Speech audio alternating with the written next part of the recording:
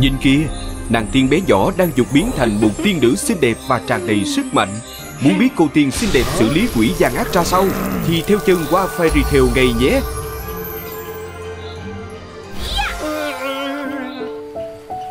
Ngày xưa ngày xưa, ở một thung lũng xa rất xa cách biệt với loài người, nơi tộc tiên sinh sống, nơi mà mỗi một tiên bé nhỏ khi đủ tuổi sẽ có một linh thú xuất hiện bên cạnh bảo vệ mình và cũng chính linh thú trao cho họ sức mạnh.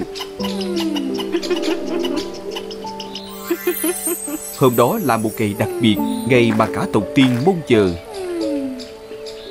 Ôi, tôi thật sự mong chờ vào nàng tiên bé nhỏ sắp ra đời đó Đúng vậy, sự kiện này một ngàn năm mới có một lần đó Hẳn là nàng tiên khi ra đời sẽ mang sức mạnh lớn lắm đây không những thế, cô ấy còn sở hữu linh thú mạnh nhất đó Ôi thật là hồi hộp mà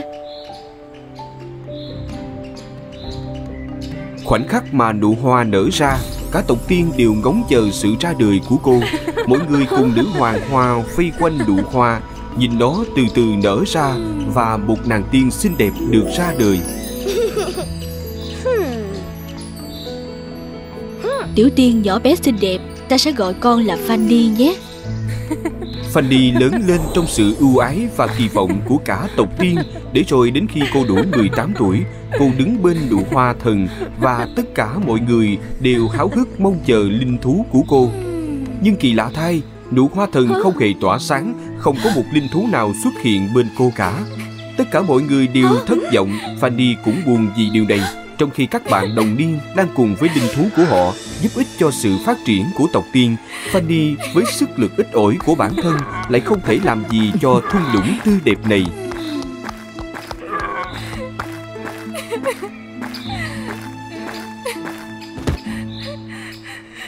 Fanny lực bất tòng tâm, cô buồn rầu ra bờ suối ngồi hít thở. May thay, ở thung lũng tiên có một chú rồng nhỏ tên là Kali, hậu duệ tộc rồng Chú rồng vì mãi không thể trưởng thành thành một con rồng dũng mãnh, Nên cũng rơi vào cảnh cô đơn giống Fanny Hai người ngày ngày bầu bạn với nhau cho vơi bớt nỗi cô đơn. Mỗi hy vọng vào sức mạnh của Fanny đều không còn.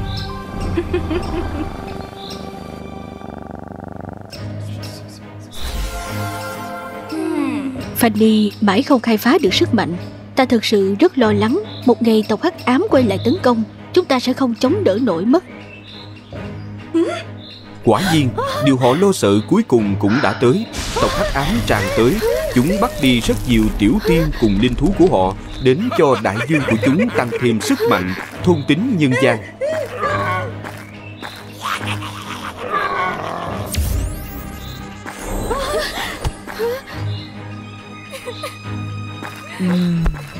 Fanny, con hãy mau chạy khỏi đây. Con là hy vọng cuối cùng của cả tộc. Vì con không có sức mạnh. Nên tạm thời quỷ dương sẽ không để ý đến con đâu. Con, con phải làm gì để cứu mọi người à Con hãy mau tới ngọn núi cao nhất Tìm chiếc la bàn vàng báu vật tộc tiên. Khi chiếc la bàn xoay một vòng Lũ quỷ sẽ quay về nơi chúng thuộc về. Chúng ta sẽ được yên ổn. Và phải nhớ thật cẩn thận Vì đám lính quỷ ở khắp nơi đó. Fanny nghe lời nữ hoàng Gạt nước mắt và chạy thật nhanh ra khỏi xứ tiên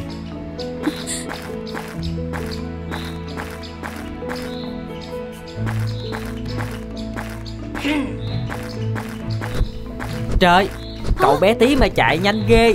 Không định đợi mình sao. Hay để mình giúp cậu bảo vệ tiên qua nha. Cảm ơn cậu vì đã luôn ở đây bên mình. Hai người cùng nhau đi và bị lính quỷ chặn lại. Chúng nhằm dè muốn tấn công hai người.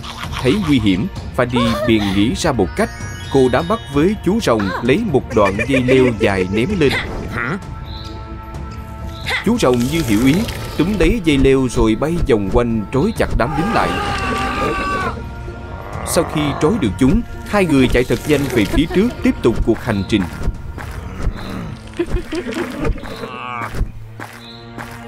Hai người cứ đi mãi đi mãi, Cuối cùng cũng đến được ngọn núi. Fanny không màng nguy hiểm leo lên.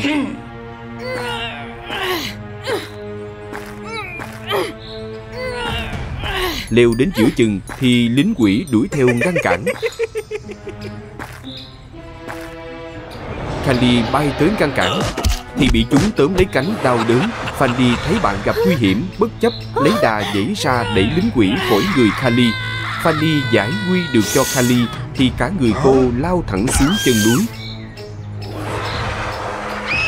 Khi sắp rơi xuống đất, Thì Kali bất chấp vỗ cánh, Loạn choạng bay, đưa cả hai lên đỉnh núi.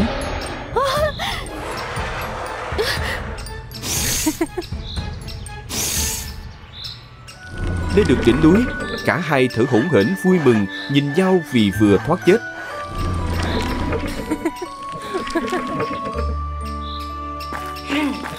Hai người nhanh chóng đi vào hang Thì bị một làn khói độc bao lấy Khiến họ khó thở ngồi sụp xuống.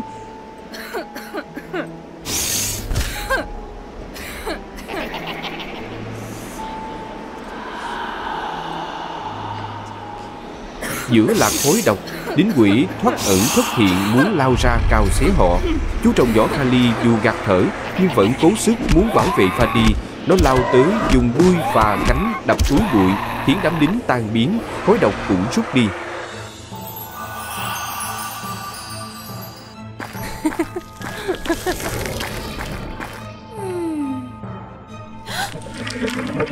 Muốn chiếc la bàn được kích hoạt sức mạnh Phải hy sinh một thứ quan trọng nhất đời mình. Nhớ lấy. Fanny lúc này chưa hiểu ra Nhưng nét mặt chú rồng lại thoáng trầm ngâm.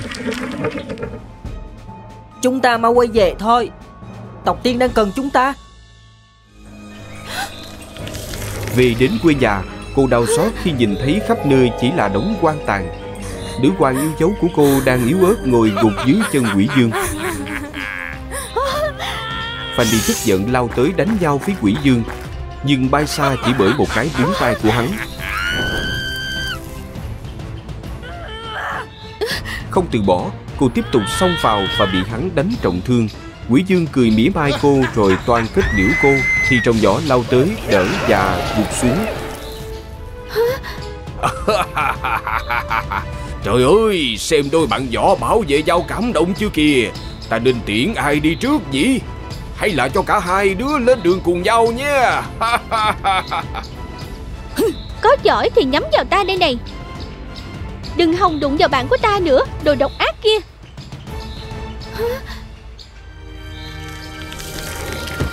Nói rồi Fanny gắn gượng cầm chặt la bàn bò thật nhanh tới chỗ rồng nhỏ ôm chặt lấy bạn.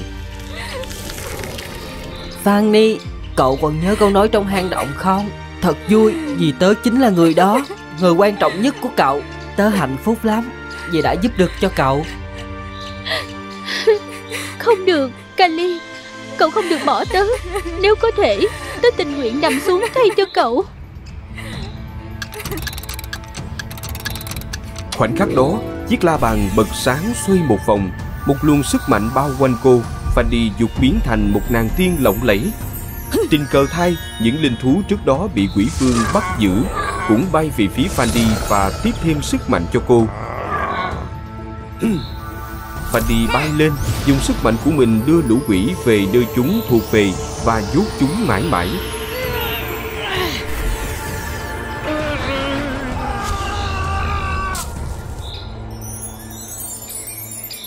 Sau khi chiến thắng quỷ vương, Cô nhẹ nhàng tiến đến bên rồng ôm chặt lấy bạn. Chiếc la bàn lúc này bỗng bay lên không trung, Vỡ vụn ra. Những mảnh la bàn bao lấy rồng Và hồi sinh chú thành một chú rồng trưởng thành dũng mãnh.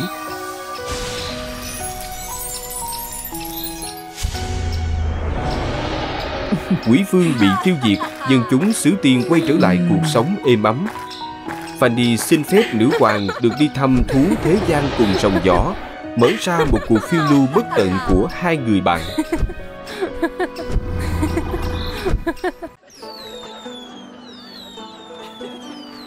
Để người dân Hoa Hạ có được bầu không khí năm mới náo nhiệt, tưng bừng như hiện tại Bạn có tin không, chú thỏ này nhỏ Nhưng công lao của chú ta không nhỏ chút nào đâu.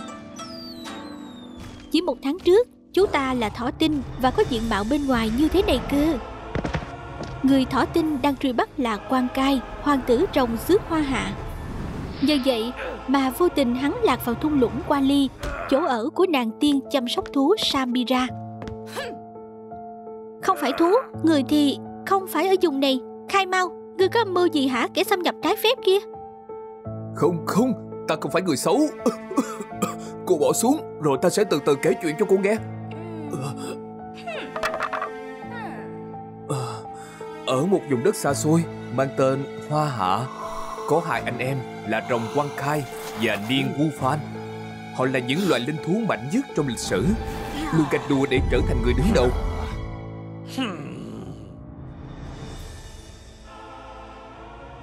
Vì muốn trở nên mạnh hơn, Nên Quang Khai đã làm ra một việc Gây hậu quả khôn lường. Đó là thả thổ tinh, Quái thú tàn ác trong truyền thuyết. Nhận thấy điều chẳng lành Sau khi thổ tinh được giải thoát và bay đi quan Khai vội vã quay trở lại làng. Khắp nơi bị bao phủ bởi sự tiêu điều, Tổn hại nặng nề. Phân tâm bởi tiếng khóc. Quan Khai bị thổ tinh dùng móng vuốt Cào mình bị thương nặng. Phải bỏ chạy. Lạc đến một vùng đất xa xôi, Gặp được một nàng tiên. Ờ Ồ, Nàng tiên xinh đẹp. Ngươi là con rồng ngốc nghếch đó hả? Cô không thể chú ý đến trọng tâm vấn đề Là nàng tiên xinh đẹp sẽ cứu giúp con rồng đáng thương hay sao vậy? Được thôi, Miễn là sau khi lành bệnh, người phải giúp ta bay ra ngoài vùng đất này. Trừ việc Samira khó tính hay nói những lời cay đắng ra, Thì cuộc sống ở Quali khá dễ dàng. Chỉ là đôi lúc, Sự dây dứt cùng nỗi nhớ quê hương Vẫn khiến quan cai vô cùng khổ sở.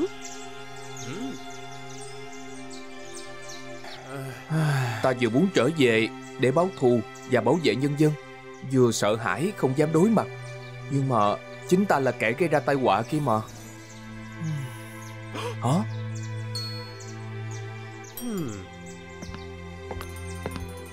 Ai trong đời cũng có những sai lầm. Điều quan trọng là tìm cách sửa lỗi thôi. Nếu bây giờ ngươi bỏ cuộc, Cái dạng năm sau vẫn sẽ bị ghi danh là con rồng ngốc nghếch. Ngược lại lấy công chuộc tội Thì sẽ thay đổi được sử sách quê hương. Ồ, cô nói đúng Nhưng ta không phải là con rồng ngấu kết. Làm ơn đi. Nhờ những lời khuyên nhủ ý nghĩa đó quan cai quyết định sẽ trở về Hoa Hạ. Với sự giúp đỡ của Samira Tìm hiểu về những đặc tính của thỏ tinh Họ tạo ra chiếc vòng lửa có thể khuất phục được nó. Ngày sức khỏe hoàn toàn hồi phục Quả nhiên quan cai biến được thành một chú rồng uy vũ Đưa theo Samira cùng bay qua thung lũng để trở về quê hương.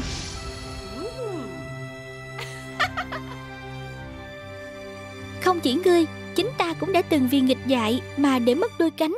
Tuy vậy, không bao giờ ta nguôi hy vọng về việc lại một lần nữa được bay lượn trên bầu trời xanh như bây giờ. Giống với cảnh vật khi rời đi, khi trở về, đập vào mắt Samira và Quan Cai là cảnh làng bạc tan hoang, không còn chút hơi thở nào của sự sống. Quanh cai Ngươi đã trở về. U Phan, mọi người đâu hết cả rồi. Dân làng an ổn. Ta đã đưa họ tạm tránh đi. Giờ phút này, hai người quyết định gác lại tư thù, tranh giành lợi ích cá nhân để cùng hiệp lực thu phục thỏ tinh trước đã. Samira tạo ra nhiều món ăn ngon lành, hương thơm lan tỏa khắp ngõ ngách quanh vùng để dẫn dụ thỏ tinh về. Hồng đeo chiếc vòng lửa có chứa công lực của quan cai để khuất phục nó. Đúng như dự đoán, thỏ tinh tham ăn nhanh chóng xuất hiện.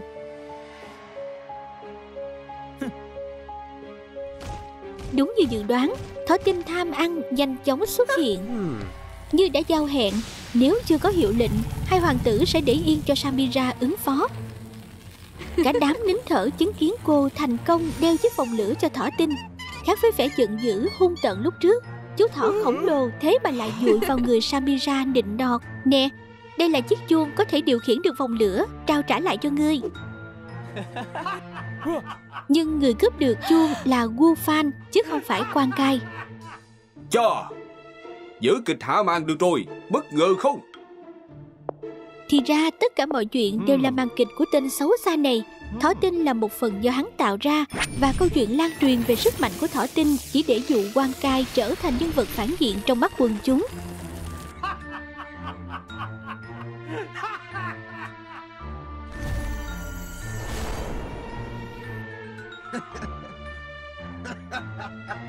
Theo kế hoạch ban đầu của ta, Thổ tinh sẽ phá nát làng Rồi chính ta sẽ xuất hiện như một vị cứu tinh Để nhân dân tin tưởng. Điều hắn không ngờ là thỏ tinh lại không nghe lời, Chạy biến mất. Không còn cách nào khác, Gu Fan giả làm thỏ tinh, Gây thảm họa khắp vùng.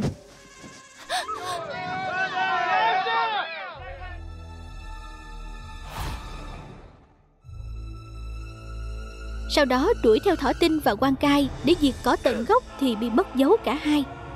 Hắn tạm sơ tán dân Chờ đợi ở làng Vì biết với tính cách của em trai Nhất định sẽ quay trở lại. Đáng ra ta phải tiễn các ngươi về trời Từ khi đặt chân đến đây rồi. Nhưng thôi không sao. Ít nhất còn giá trị để ta lợi dụng Hợp lại phân thân. Tuy nhiên hắn lại phải thất vọng. Dẫu rung lắc chuông bao nhiêu lần Thỏ tinh cũng không nghe lời chạy đến bên hắn Cái quái gì thế này? Bất ngờ không? Ngay từ đầu ta đã nhận ra kẻ phá làng không thể là thỏ tinh rồi. Chiếc vòng cổ mà nó đang đeo dĩ nhiên là giả. Ngươi dĩ nhiên không biết lúc trước Ta cũng lén quan cai thử làm một cái. Hay lắm. Thỏ tinh chịu phục tùng là do chuyên môn chăm sóc tài tình của ta Và thêm thứ này thôi. Đúng không con trai? Dám chơi ta. Hừ, Có vẻ người chán sống rồi. Nghe lời chủ nhân Thỏ tinh ngay lập tức lao lên. Nhưng sức của phân thân thì không địch lại được bản gốc.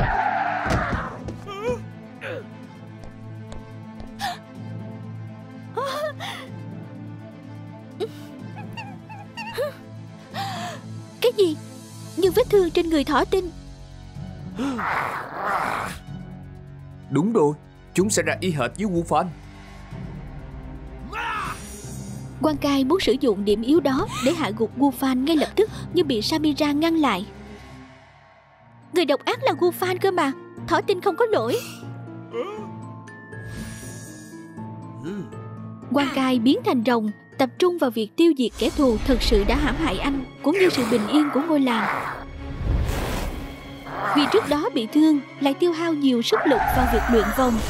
Quan cai nhanh chóng bị Gu Fan khỏe hơn hạ được. Giờ thì hãy ngoan ngoãn quay lại với ta nào Thỏ tinh. Nhưng thỏ tinh đâu dễ dàng nghe lời như vậy. Nó rất thông minh. Biết được điểm yếu của mình chính là ngọn lửa khủng khiếp Mà rồng đã để lại khi chiến đấu kia. Cứ thế, sự kết hợp của lửa điện tạo thành một tiếng nổ kinh hoàng. Liên cũng vì thế mà chịu tổn hại, sợ hãi, vội vã trốn đi. Sau cú nổ, thỏ tinh biến thành chú thỏ nhỏ xíu Yếu đuối nằm trong vòng tay của Samira. Người dân trong làng nghe tiếng nổ lớn thì trở về Biết được thực hư câu chuyện.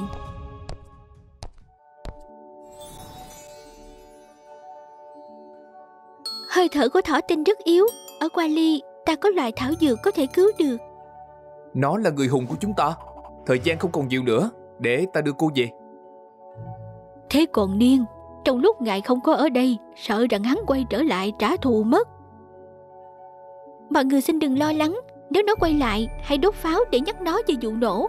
Nhất định Niên sẽ không dám bén mảng đến thêm nữa đâu.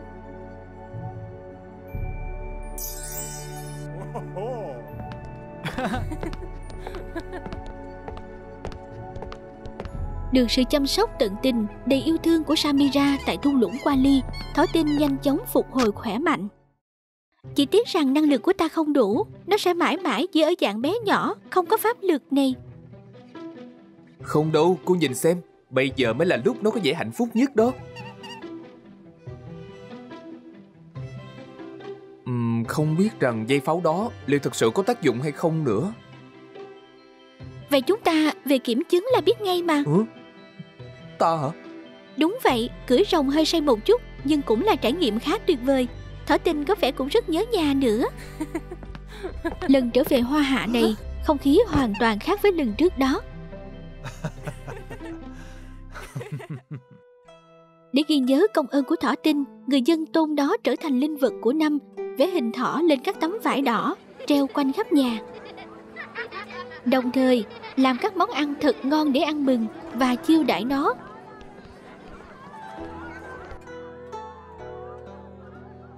Giờ khắc cuối cùng của ngày, người dân đốt pháo để đẩy lùi âm mưu quay lại của Niên. Tiếng pháo rộn ràng, tươi vui đã mở ra một năm mới, một thời kỳ mới tươi đẹp cho người dân Hoa Hạ. Chính ngươi cũng phải cảm ơn chú thỏ nhỏ đó nữa. Nhờ đó có vẻ như ta không còn ghét công việc chăm thú của mình chút nào Đúng vậy Số phận thì có thể khắc nghiệt Quan trọng là cách chúng ta ứng phó Cùng nó thích nghi. Ờ giống như việc cô không thể bay được đó. Nhưng ta thì vẫn có thể trở thành đôi cánh của cô mà. Hả? Cái gì cơ? Ta không nghe rõ. Nè. Ờ ta chỉ nói là chúc mừng năm mới thôi. Chúc mừng năm mới. Phoebe là một nàng tiên được sinh ra với nhiệm vụ thắp sáng những vì sao trên bầu trời. Nhưng đã có vài việc ngoài ý muốn xảy ra khiến nàng Phoebe suýt nữa mất mạng. Sau khi được các ngôi sao cứu giúp, nàng đã từ bỏ nhiệm vụ và chọn một cuộc sống như một người bình thường bên cạnh Otis. Từ khi có được viên đá quý mà con quái vật vô tình hất qua, Otis liên tục làm những nghiên cứu về nó. Bất ngờ chàng mở ra được một cánh cổng nhỏ dẫn đến một nơi có khung cảnh tuyệt đẹp. Nơi này thật đẹp Ta chưa từng thấy qua nơi nào đẹp như vậy. Đây là nơi ta được sinh ra Dùng đất của các vị thần. Chàng đừng tự ý đến đó Nếu không sẽ khiến cho các vị thần nổi giận Và trừng phạt chàng đấy. Ta biết rồi Ta sẽ chỉ ngắm nghía nó thêm một chút nữa thôi. Bỗng một âm thanh vô cùng lớn phát ra từ khu rừng gần nhà Khiến cả hai giật mình. Để ta đi xem thử coi chuyện gì. Ta sẽ đi cùng với nàng Hả? Hả?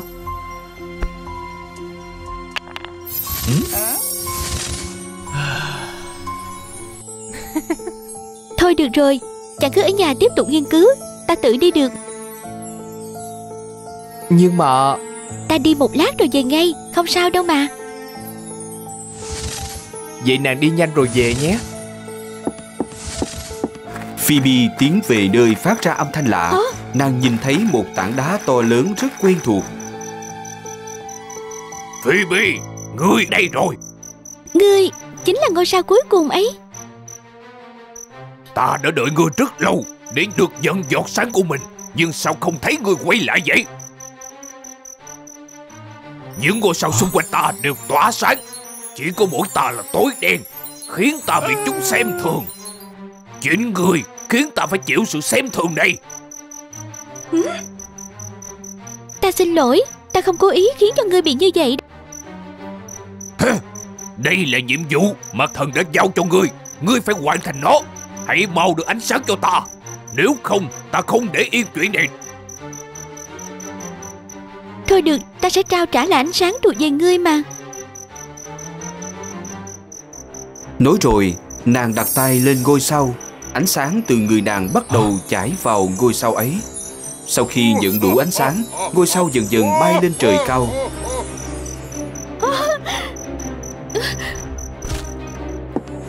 Otis đợi mãi chẳng thấy Phoebe trở về. Ừ? Cảm thấy lo lắng, Chàng liền đi tìm, Thì nhìn thấy Phoebe đang yếu ớt nằm trên mặt đất. Ôi không, Phoebe, Nàng làm sao thế này? Otis cố gắng làm mọi cách để cứu Phoebe Nhưng nàng vẫn không thể tỉnh dậy. Bây giờ phải làm cách nào mới cứu được nàng đây? Hả?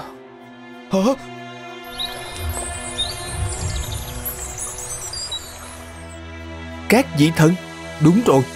Các vị thần chắc chắn sẽ cứu được nàng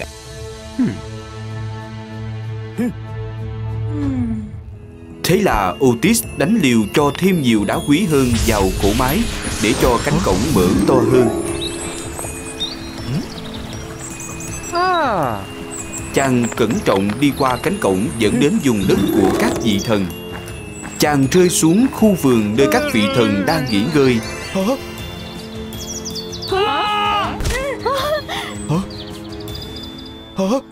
Khi thấy Otis, các vị thần đã vô cùng ngạc nhiên và tức giận. Một con người sao? Sao ngươi dám xâm phạm đến vùng đất của các vị thần hả? Xin thần hãy giúp con. Xin thần hãy cứu lấy Phoebe. Phoebe? Hiện giờ nàng ấy đang gặp nguy hiểm. Cầu xin người hãy rủ lòng thương giúp đỡ nàng. Thật ra ta cũng đã biết mọi việc của Phoebe Lẽ ra nàng ấy phải hoàn thành nhiệm vụ Và trở lại đây Thì đã có thể có một cuộc sống vui vẻ không lo âu rồi. Hiện giờ nàng ấy cũng đã hoàn thành nhiệm vụ của mình. Nàng ấy cũng vì giúp mẹ con ta Mới lâm vào cảnh như vậy. Cầu xin người hãy giúp nàng ấy Ta nguyện trả bằng mọi giá. Thôi được rồi Vì tấm lòng chân thành của ngươi Ta sẽ chỉ cho ngươi một cách Ở vùng đất đá quý mà ngươi đã từng đến. Có một viên đá sinh mệnh ở trung tâm. Nếu như ngươi đủ dũng cảm Hãy lấy viên đá ấy để cứu lấy Phoebe.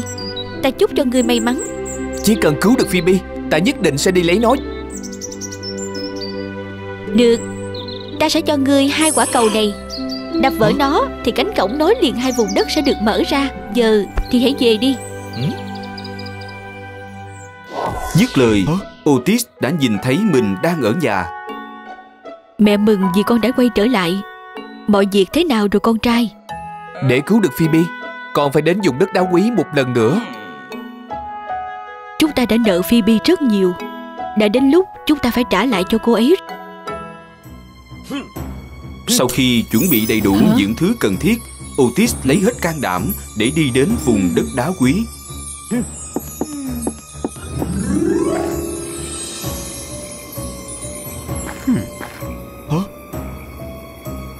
Otis cẩn thận đi về phía trung tâm của vùng đất.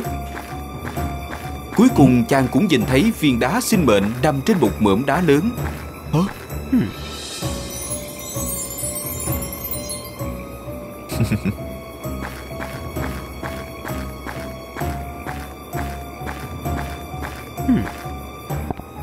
Sau một hồi chật vật Chàng cũng đã lấy được viên đá ấy. Những tưởng mọi việc diễn ra suôn sẻ Thế nhưng, con quái vật từ đâu xuất hiện tấn công chàng? Quả cầu rơi xuống đất Trước mặt con quái vật. Lập tức con quái vật dậm dở quả cầu. Cánh cổng mở ra, Nhưng bị nó ngăn cản. Otis lại không thể đến gần được. Chàng chỉ có thể tuyệt vọng nhìn cánh cổng dần đóng lại. Quái vật tiếp tục đuổi theo Otis, Muốn lấy lại viên đá sinh mệnh. Otis liền chui vào một khe hở nhỏ Được tạo ra từ các viên đá quý lớn chồng lên nhau. Với thân hình quá khổ Con quái vật không thể nào vào trong được. Bây giờ làm cách nào mới có thể về nhà đây? Mẹ Phoebe Ta xin lỗi hai người. Con quái vật vẫn đang cố tìm cách bắt lấy Otis. Bỗng chàng nhìn thấy quả cầu trên trán nó? Rất giống với cái mà thần đưa cho. Hả? Có khi nào quả cầu đó Cũng có thể đưa mình về? Giờ cũng chẳng còn cách nào khác đành phải liều thôi. Nói rồi Otis ném viên đá sinh mệnh ra xa con quái vật Thấy vậy liền phi đến đó. Nhân cơ hội Otis liền theo một tảng đá quý cao Sau đó nhảy lên người con quái vật. Chàng cố gắng lấy quả cầu trên đầu con quái vật ấy Sau một hồi vất vả Otis cũng lấy được quả cầu trên đầu của con quái vật. Con quái vật lồng lên định vô đến Otis Nhưng sau đó nó đã tan ra và biến mất. Có lẽ đây là sinh mệnh của nó. Xin lỗi Ta cũng chỉ là vì bất đắc dĩ mới phải làm hại ngươi. Đúng như dự đoán lúc đầu của Otis Quả cầu ấy đã mở ra một cánh cổng khác Đưa chàng quay trở về nhà. Hả? Cùng với viên đá quý lấy được Otis đã cứu được Phoebe tỉnh dậy.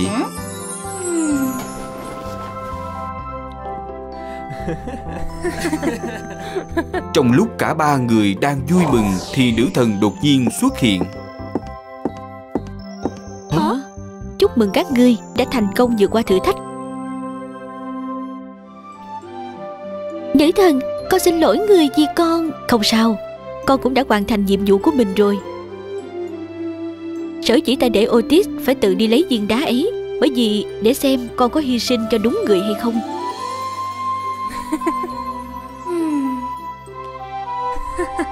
Ta thật mừng vì Otis đúng là người chân thành và dũng cảm. Giờ đây con đã chính thức trở thành một con người bình thường. Hy vọng rằng con có thể cảm thấy hạnh phúc với lựa chọn của mình Con xin cảm ơn người. Được rồi, ta đi đây. Khoan đã Nữ thần cho con hỏi. Con quái vật đó Nó chỉ đang làm nhiệm vụ canh giữ của mình Nhưng mà con Đã phải làm hại nó. Otis Con đúng là một người nhân hậu. Con yên tâm Nó sẽ được hồi sinh lại thôi. Sau khi nghe nữ thần trả lời Otis như cởi bỏ được sự áy náy trong lòng. Kể từ đó Nhà ba người cùng nhau sống hạnh phúc.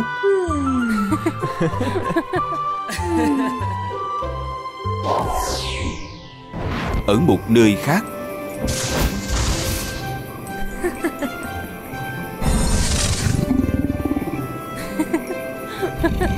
Không sao đâu Ngươi đã làm rất tốt